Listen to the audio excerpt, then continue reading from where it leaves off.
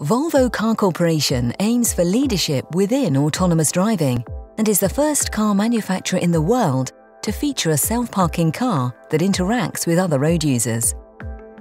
Combining autonomous driving with detection and auto brake for other objects makes it possible for the car to interact safely with other cars and pedestrians in the parking lot. Speed and braking are adapted for a smooth integration in the parking environment. The concept shown by Volvo means that existing parking lots can be used and investments in infrastructure will be significantly lower.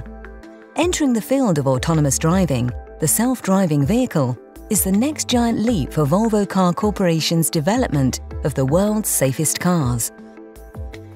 Autonomous driving is a foundational part of our safety strategy and a key enabler for our Vision 2020, which is to have no fatalities or serious injuries in a Volvo car in the year 2020. There are so many advantages to autonomous driving, it's difficult to list them all. I would start with safety.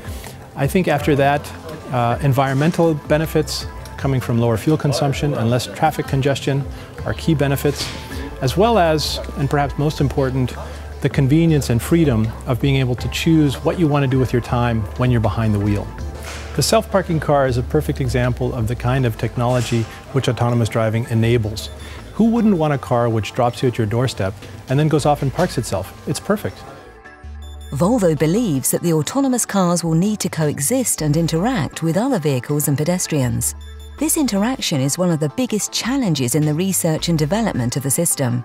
But now Volvo is the first car manufacturer in the world to show a prototype self-parking car that interacts with other road users. I think the main advantage of autonomous parking is the added convenience of not having to park your vehicle by yourself and also that you can save time. So when you arrive at, at an, a parking lot, you leave your vehicle in a designated drop-off zone. And once all the criteria are fulfilled, you press the button to command the vehicle to park itself. Once the vehicle receives that command, it starts to navigate through the parking lot and searching for, for an empty parking space. Once an empty parking space is found, it parks there and automatically sends you a notification that your Volvo has been parked safely. And then when you need your vehicle once again, you send another command to your telephone saying that I want to pick my vehicle up. The vehicle then once again navigates through the parking lot to a designated pickup area where the driver once again gets into the vehicle and then drives off. I believe that the self-parking car is much more than just a vision. Volvo has already taken the first step towards the self-parking car by offering the Park Assist pilot in the V40.